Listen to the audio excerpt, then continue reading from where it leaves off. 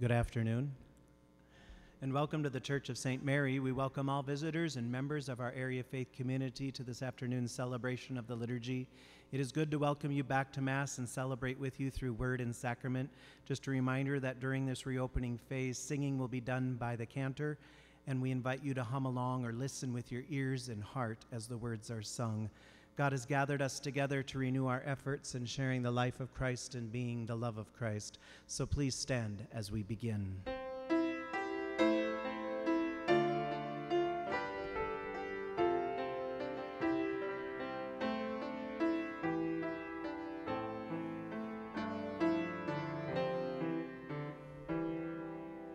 This day God gives me strength for high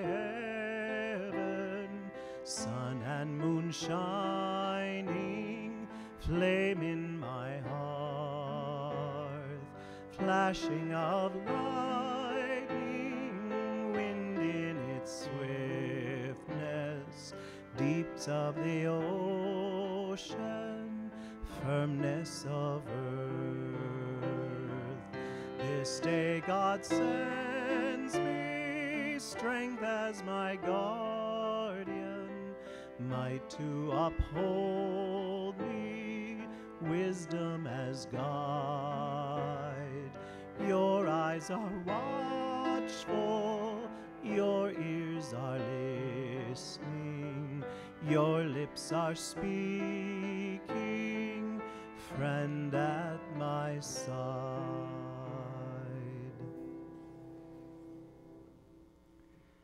In the name of the Father, and of the Son, and of the Holy Spirit. Amen. The Lord be with you. And with your spirit. Good afternoon, everyone. Good afternoon, Father. I want to take the opportunity to also welcome in a very special way all of our dads as we celebrate Father's Day this weekend, as we ask God's blessings upon each of you and your vocation as fathers of your families and households. A little later in our Mass, we'll have the opportunity to pray a prayer blessing uh, with you and for you at that time. But as we gather here at the table of the Lord, as we are commissioned like the disciples to go forth and to preach the gospel, Jesus reminds us today to not be afraid. And so, with confidence, we come to the altar, here to be forgiven and receive the gift of God's mercy as we acknowledge our sins.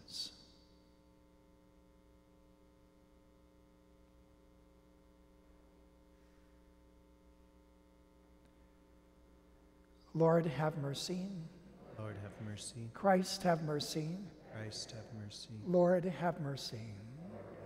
May Almighty God have mercy on us, forgive us our sins, and bring us to everlasting life. Amen. And glory to God in the highest, and on earth peace to people of good will. We praise you, we bless you, we adore you, we glorify you. We give you thanks for your great glory.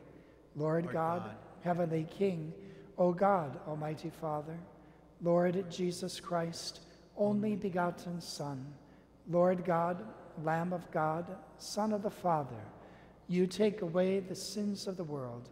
Have mercy on us. You take away the sins of the world. Receive our prayer. You are seated at the right hand of the Father. Have mercy on us. For you alone are the Holy One. You alone are the Lord. You alone are the Most High, Jesus Christ, with the Holy Spirit, in the glory of God the Father. Amen. Let us pray. Grant, O Lord, that we may always revere and love your holy name. For you never deprive of your guidance those you set firm on the foundation of your love. Through our Lord Jesus Christ, your Son, who lives and reigns with you in the unity of the Holy Spirit, one God, forever and ever. Amen.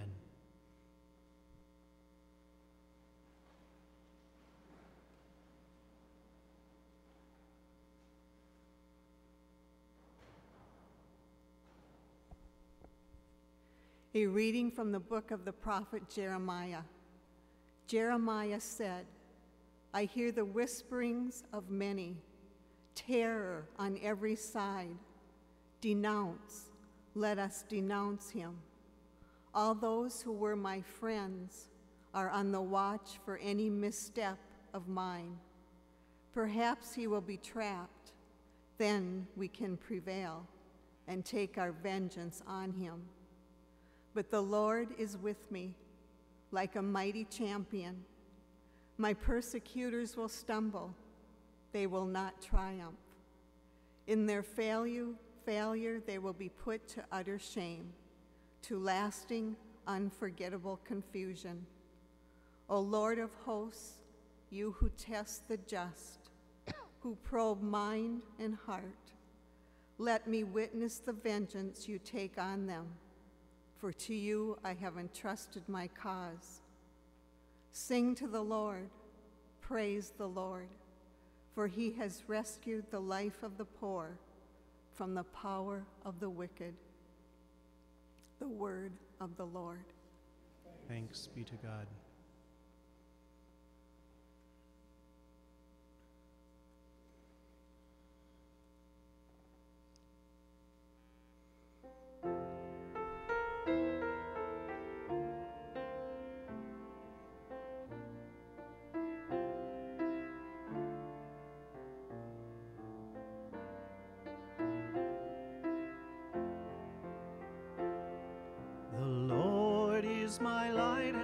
Salvation. Of whom should I be afraid? Of whom should I be afraid? The Lord is my light and my help. Whom should I fear? The Lord is the stronghold of my life. Before whom should I shrink? The Lord is my light and my salvation. Of whom should I be afraid? Of whom should I be afraid? There is one thing I ask of the Lord, for this I long, to live in the house of the Lord all the days of my life. The Lord is my light and my salvation. Of whom should I be afraid? Of whom should I be afraid? I believe I shall see the goodness of the Lord in the land of the living. Hope in God and take heart. Hope in the Lord. The Lord is my light and my salvation. Of whom should I be afraid? Of whom should I be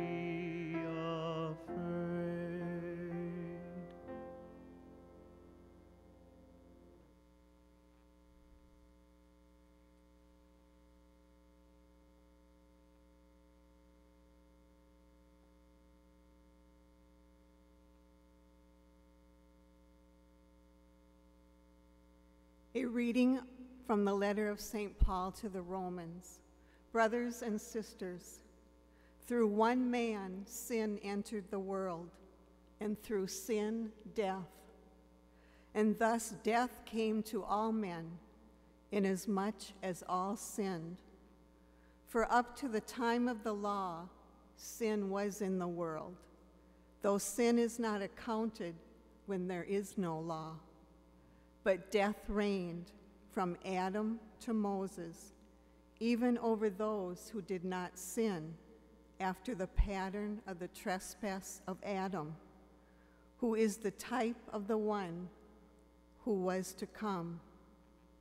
But the gift is not like the transgression.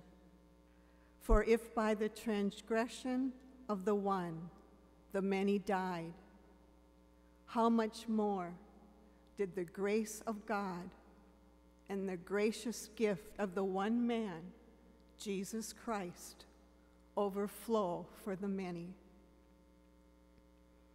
The word of the Lord. Thanks be to God.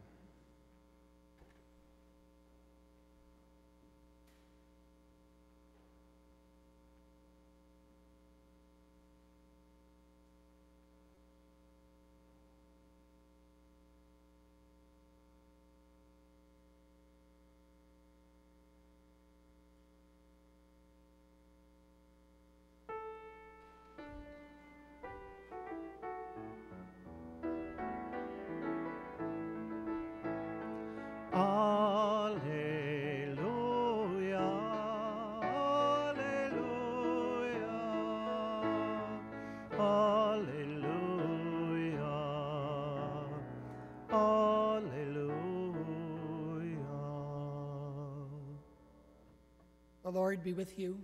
And with your spirit. A reading from the Holy Gospel according to Matthew. Glory to you, O Lord. Jesus said to the twelve, Fear no one. Nothing is concealed that will not be revealed, nor secret that will not be known.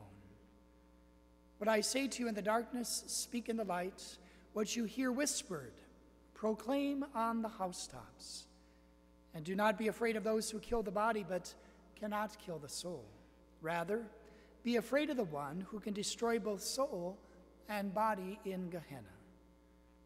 Are not two sparrows sold for a small coin? Yet not one of them falls to the ground without your Father's knowledge. Even all the hairs of your head are counted. So do not be afraid, you are worth more than many sparrows. Everyone who acknowledges me before others, I will acknowledge before my heavenly Father. But whoever denies me before others, I will deny before my heavenly Father. The Gospel of the Lord. Praise to you, Lord Jesus Christ.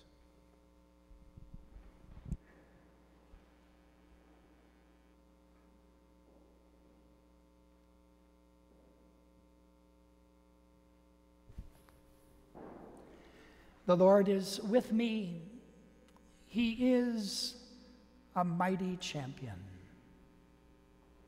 The prophet Jeremiah makes these words made, made known to you and I as we gather for worship today. Jeremiah, who is being persecuted as a prophet, people were coming at him from all sides. He was despised by everyone. And yet he could proclaim in the midst of all that rejection and hurt and suffering, the Lord is with me. He is a mighty champion. It was the anniversary of her death. It had been three years already since her passing, and yet, even though three years had passed, it seemed for, why, it seemed for him to be like just yesterday. The loss was still great, the pain incredible, the void and the absence of her still ached. Yet on this day, the anniversary of her death, why her husband, getting up there in years with very, very white hair, decided that he needed to find this picture, this image that he knew that he had of her, but he could not locate. And so he pursued to seek out that photo that he had in his mind because he knew he had seen it somewhere. And so while he could not find it on the main level of the house, he chose to ascend, to ascend the steps that led to the attic. And there, with his white grayish hair, he entered into the attic and he pulled on the chain that illuminated the attic, the one single light bulb that, hang, that hung from a cord. And as it began to illuminate the darkness of the attic, he went to the, to the tubs that his wife had placed up there, things that she had kept over the years that he had never yet gone to. And there he looked for the photos that one particular photo that he knew he had of her that was engraved in his memory. And as he looked for the photo, he came across all kinds of other things, all kinds of other photos, other memorabilia, other what he would deem junk that his wife chose to keep.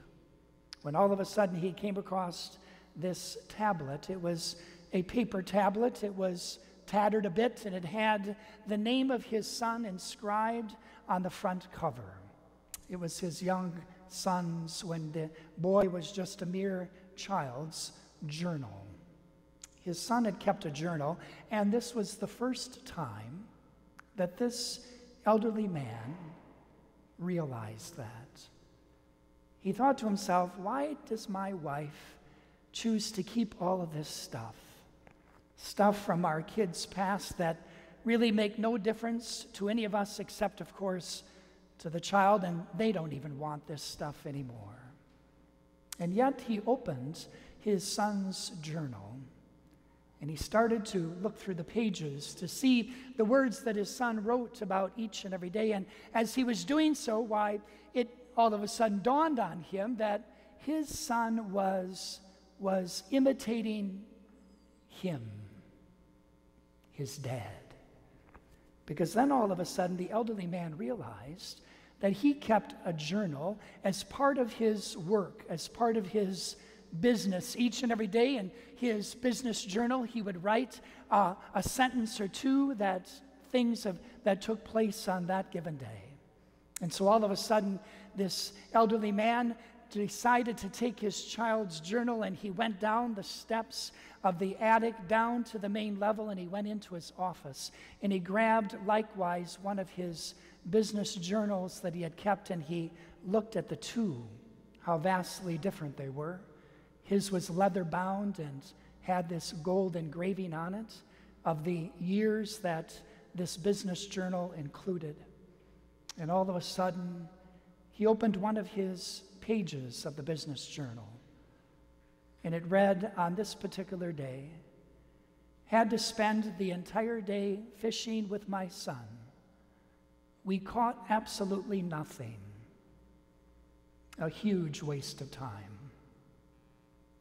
And then he thought, you know, I think I'm going to look to see if my son wrote something on that same day. And so he opened his son's journal again and he started going through the pages. And sure enough, he got to the same date of that journal entry of his, and why his son likewise had made a note of what he experienced. And it quite simply read this Spent the whole day fishing with my dad. Best day ever. Amazing, isn't it? Same activity, two different people sharing an event, a moment in their lives, and how vastly different they experienced it at the moment. Now, I share this story not to make this dad look bad, but quite simply to make a point. This dad began to realize, like St. Paul did in today's second reading, of how the grace of one man can overflow into the lives and the hearts of others. Of course, St. Paul is talking about the gifts of the one man, mainly Jesus Christ, but we realize, as I mentioned last weekend, that each of us are called to be that real presence of Christ for others. And so, as we celebrate Father's Day this weekend, we realize that one of those vocations, i.e., fatherhood, is essential and critical for the life of our children, for the lives of those that are entrusted to their care. And we realize that how dads don't even realize, none of us really realize, how our life overflows and how it affects and impacts the people of the lives that we touch, the lives that we encounter, the people that we come into contact with. And all of a sudden, on that given day, this elderly man who was grieving the loss of his wife came to realize that, as Jesus says in today's gospel, nothing will be hidden that won't come to light.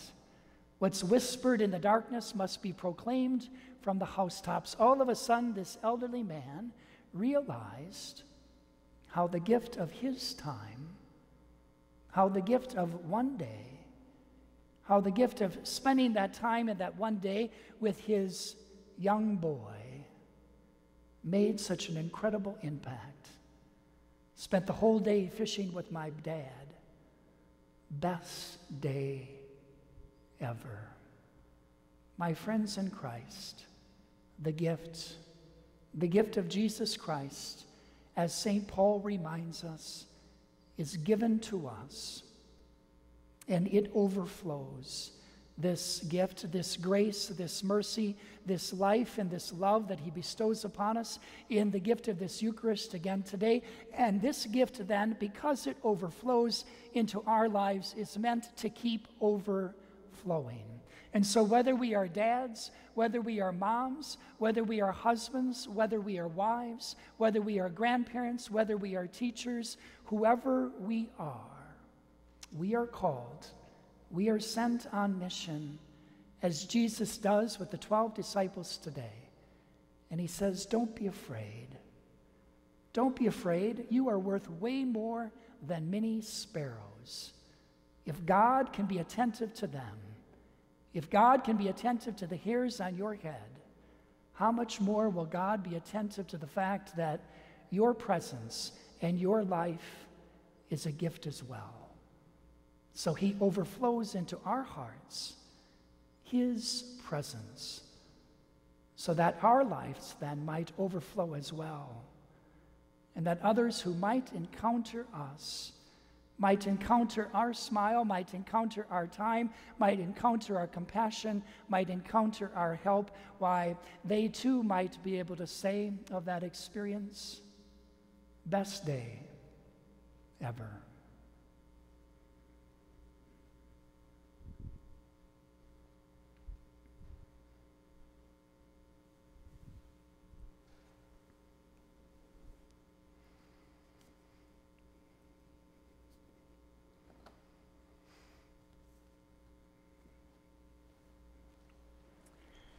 I believe in one God, the Father Almighty, maker of heaven and earth, of all things visible and invisible. I believe in one Lord Jesus Christ, the only begotten Son of God, born of the Father before all ages, God from God, light from light, true God from true God, begotten, not made, consubstantial with the Father. Through him all things were made. For us and for our salvation, he came down from heaven and by the Holy Spirit was incarnate of the Virgin Mary and became man. For our sake he was crucified under Pontius Pilate. He suffered death and was buried, and rose again on the third day in accordance with the Scriptures. He ascended into heaven and is seated at the right hand of the Father.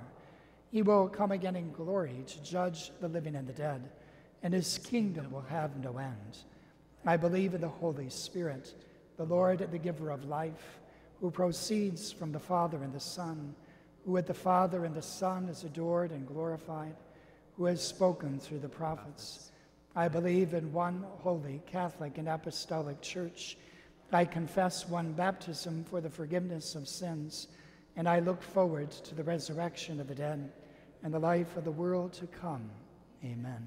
Gathered here in prayer, let us call upon the Lord our God for his help and strength as we offer these petitions. that Pope Francis and all who are called to lead the church continue to share the good news of Christ with hope and love, we pray. Lord, hear our prayer. That our government leaders strive to lead in ways of peace and justice, we pray. Lord, hear our prayer that those who serve as caregivers for the young and the elderly are comforted by God's ever present love and grace, we pray. Lord, hear our prayer. For fathers and all men who guide and nurture our young people, in gratitude for their tenderness, wisdom, and faithfulness, we pray. Lord, hear our prayer. That we are blessed with favorable weather for our crops and gardens and safety for all travelers and those helping the sick and those in our military, we pray. Lord, hear our, our prayer. prayer. That we remember all those who have died and all fathers who have gone before us. May we who grieve their death find comfort in the promise of the resurrection, remembering Ron Tucker, Jerry Rademacher, the Huber family, Tony Kadrowski, and Donald Clark, we pray. Lord, hear our prayer. For those receiving First Communion this weekend, will become for their family what they have received the body of Christ. We pray. Lord, hear our, prayer. As we gather in prayer then this day, let us ask God's blessings upon all of our dads present with us in this liturgy today, as well as all those who are present with us, watching online, at home, and or are with us um, as part of the communion of saints in heaven. And so let us pray. Blessed are you, Lord, and giver of all life. Today we honor all fathers, both living and deceased, and we thank you for the numerous good things that are ours because of them. Their love for us has been a sign of your divine affection and a sharing in your holy love. Their continuous concern for our needs and our welfare is a mirror of your holy providence and care. God of all life, bless our dads today with your strength and holy power, that they may continue to be a sign of you, our God, and a holy presence to our family. May we who honor have the honor of bearing their family name do so with pride. May we, the members of their family, assist them in their holy duties as a parent with our respect, our obedience, and our deep affection. Lord, bless our dads with happiness and good health, with peace and good fortune, so that they who have shared their lives with us may live forever with you, our God. This blessing and all graces, we pray, descend upon our dads and upon all fathers who have died and have gone before us in the faith. We make this prayer blessing through Christ our Lord. Amen. Please be seated for the preparation of gifts.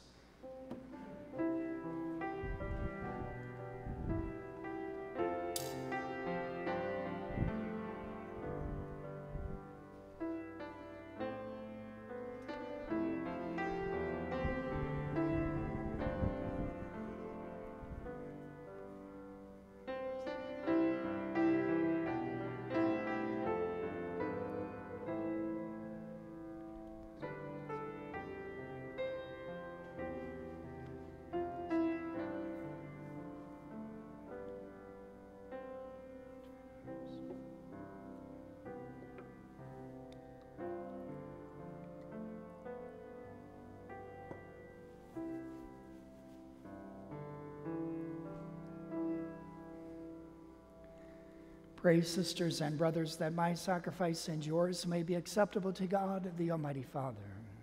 The Lord accept this sacrifice at your hands for the praise and glory of God's name, for our good and the good of all this holy church. Receive, O Lord, the sacrifice of conciliation and praise, and grant that, cleansed by its action, we may make offering of a heart pleasing to you, through Christ our Lord. And the Lord be with you. Spirit. Lift up your hearts. Up to the Lord. Let us give thanks to the Lord our God. It is truly right and just, our duty and our salvation, always and everywhere to give you thanks, Lord, Holy Father, Almighty and eternal God. For you so loved the world that in your mercy you sent us the Redeemer, to live like us in all things but sin, so that you might love in us what you loved in your Son, by whose obedience we have been restored to those gifts of yours that by sinning we had lost in disobedience. And so, Lord, with all the angels and saints, we too give you thanks. As an exaltation, we acclaim Holy, holy, holy, Lord God of hosts. Heaven and earth are full of your glory. Hosanna in the highest. Blessed is he who comes in the name of the Lord.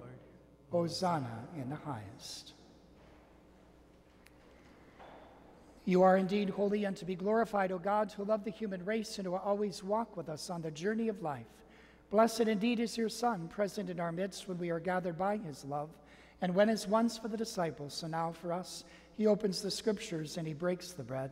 Therefore, Father most merciful, we ask that you send forth your Holy Spirit to sanctify these gifts of bread and wine, that they may become for us the body and blood of our Lord Jesus Christ. On the day before he was to suffer, on the night of the Last Supper, he took bread, said the blessing, broke the bread, and gave it to his disciples, saying, Take this, all of you, and eat of it, for this is my body, which will be given up for you.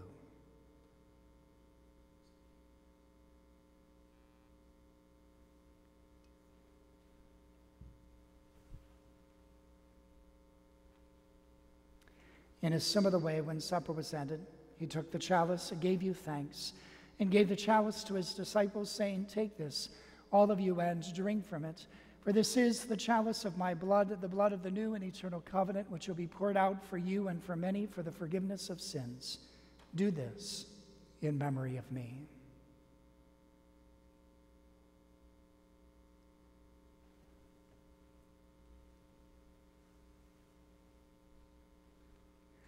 The mystery of faith. When we eat, Eat this, this bread, bread and drink this cup, we proclaim your death, O Lord, until you come again. Therefore, Holy Father, as we celebrate the memorial of Christ, your Son, our Savior, whom you led through his passion and death on the cross to the glory of the resurrection, and whom you have seated at your right hand, we proclaim the work of your love until he comes again, and we offer you the bread of life and the chalice of blessing. Look with favor on the offering of your church in which we show forth the paschal sacrifice of Christ that has been handed on to us. And grant that by the power of the Spirit of your love, we may be counted now until the day of eternity among the members of your Son, in whose body and blood we have communion. And so, having called us to your table, Lord, confirm us in unity, so that together, with Francis, our Pope, and John, our Bishop, with all bishops, priests, and deacons, and your entire people, as we walk your ways with faith and hope, we may strive to bring joy and trust into the world. Remember our sisters and brothers who have died in the peace of your Christ and all the dead whose faith you alone have known. Admit to them to rejoice in the light of your face, and in the resurrection give them the fullness of life. Grant also to us that when our earthly pilgrimage is done, that we may come to an eternal dwelling place and live with you forever. There in communion with the Blessed Virgin Mary, Mother of God, with Blessed Joseph, her spouse, with the apostles and martyrs, and with all the saints, we shall praise and exalt you through Jesus Christ, your Son. Through him, with him, and in him, O God Almighty Father, in the unity of the Holy Spirit, all glory and honor is yours, forever and ever. Amen. Together we pray as Jesus taught us Our Father, who art in heaven, hallowed be thy name. Thy kingdom come, thy will be done, on earth as it is in heaven. Give us this day our daily bread, and forgive us our trespasses, as we forgive those who trespass against us. And lead us not into temptation, but to deliver us from evil. Deliver us, Lord, we pray, from every evil. Graciously grant peace in our days, that by the help of your mercy we may be always free from sin and safe from all distress, as we await the blessed hope and the coming of our Savior, Jesus Christ. For the kingdom. Lord Jesus Christ, who said to your apostles, Peace I leave you, my peace I give you, look not on our sins, but on the faith of your church, and graciously grant her peace and unity in accordance with your will, who live and reign forever and ever. Amen. And the peace of the Lord be with you always. and with your spirit. Lamb of God, you take away the sin of the world. Have mercy on us. Lamb of God, you take away the sin of the world. Have mercy on us. Lamb of God, you take away the sin of the world. Grant us peace.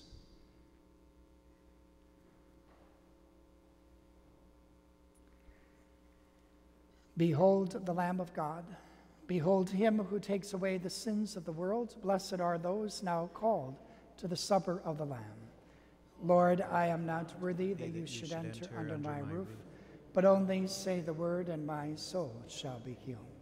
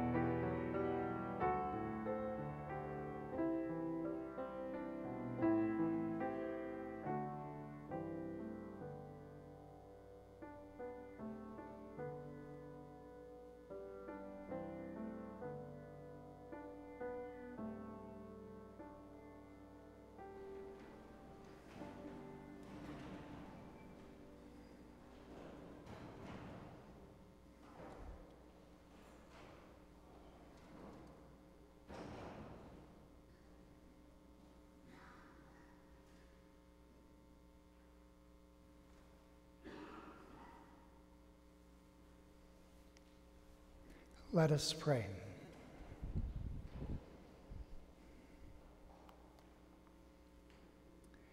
Renewed and, renewed and nourished by the sacred body and the precious blood of your Son, we ask of your mercy, O Lord, that what we celebrate with constant devotion may be our sure pledge of redemption through Christ our Lord. And the Lord be with you. May Almighty God bless you, the Father, and the Son, and the Holy Spirit. Amen. Before we go, I'd ask that you please remember in your prayers the repose of the soul of Tony Kadarowski. Uh, Tony died early this morning. His Mass of Christian burial will be celebrated here at St. Mary's this coming Thursday at 11 a.m. But please remember uh, his wife Angie and family as they grieve his passing eternal rest. Grant unto him, O Lord Let perpetual light shine upon him. and may he rest in peace. Our Mass is now ended. Let us go in peace to love and to serve the Lord. Thanks be to God. And invite those who are assisting with the distribution of communion to please come forward.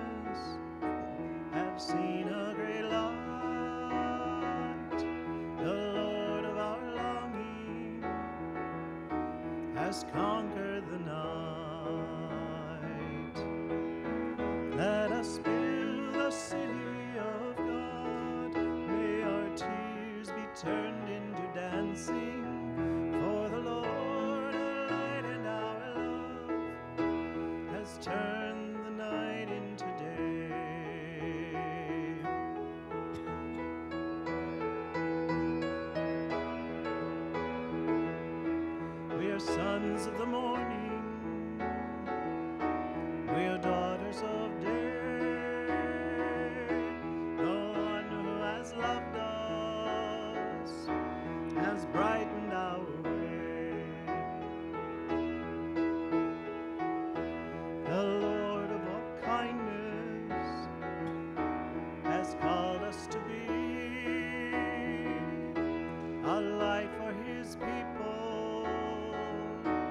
Set their hearts free.